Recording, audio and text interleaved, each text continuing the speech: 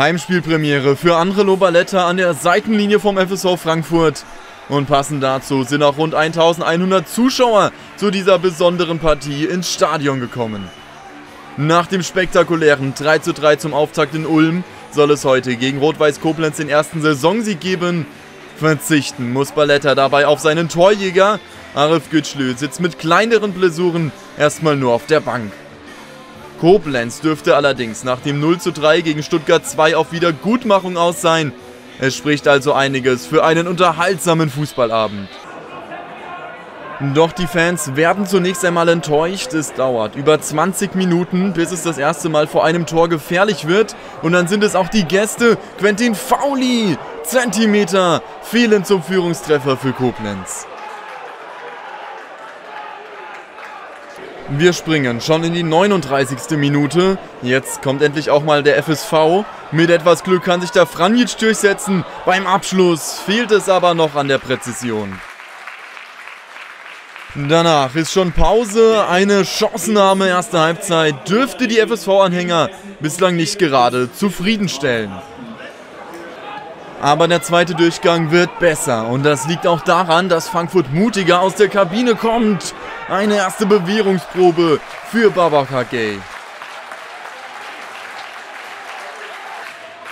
Und der Schlussmann steht auch gleich erneut im Fokus, denn es gibt eine gute Freistoßposition für den FSV. Und das ist eine Sache für Ihab Dawic. Zu zentral, kein Problem für den Koblenzer Keeper.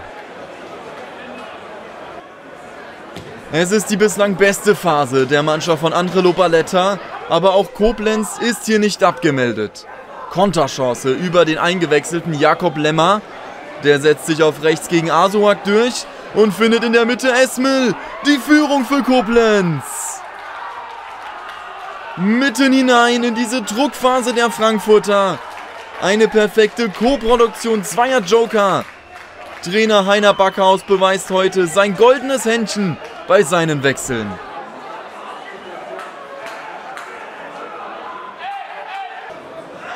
Und Balletta reagiert sofort. Eine Viertelstunde vor dem Ende wird es Zeit für seinen Torjäger.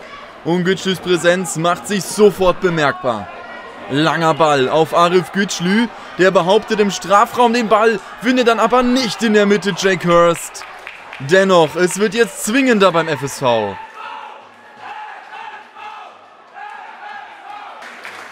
Wir gehen in die Schlussphase, wieder eine Standardsituation und wieder ist es Gütschlü. Frankfurt will jetzt unbedingt den Ausgleich.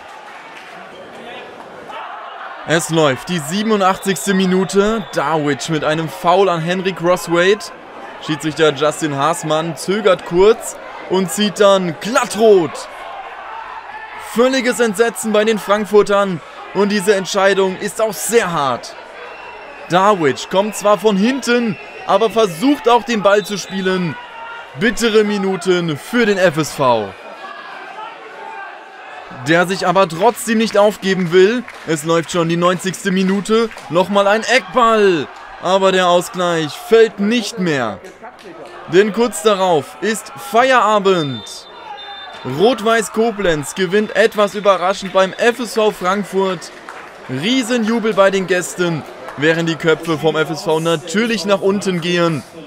Frankfurt wartet weiter auf den ersten Pflichtspielsieg unter Andrelo Balletta. Die Stimmen zu dieser Partie. Fazit zum Spiel ist auf jeden Fall, dass, äh, dass das Spiel von letztem Mal sich gar nicht gespiegelt hat. Also da hat die Leidenschaft gefehlt, das Kämpferische. Ähm, ich glaube, das, das war ein bisschen zu hektisch in der ersten Halbzeit und äh, in der zweiten Halbzeit haben wir es ein bisschen ruhiger gestaltet. Aber ja, im Großen und Ganzen äh, war, das, war das heute viel zu wenig. Wir haben ja letzte Woche auch nicht so wahnsinnig schlecht gespielt. Wir haben halt nach 90 Sekunden einzeln zurückgelegen. Und Stuttgart hat uns dann den Ball überlassen bei tropischen Temperaturen. Deswegen wurden wir dezimiert durch eine rote Karte. Also nochmal, äh, nicht alles schwarz und weiß. Und heute war, war sehr, sehr gute Arbeit gegen Ball von unserer Mannschaft zu sehen. Frankfurt hat das sehr spielerisch versucht zu lösen, hat uns so ein bisschen die Karten gespielt, weil wir viele Balleroberungen hatten. Hätten, glaube ich, aus meiner Sicht auch äh, in der ersten Halbzeit schon führen müssen. Und ich glaube, der Sieg war mehr als verdient. Große Freude also bei Rot-Weiß Koblenz, für die es bereits am Dienstag weitergeht. Gegner ist dann der FC Homburg und das Ziel ist natürlich klar. die nächsten drei Punkte.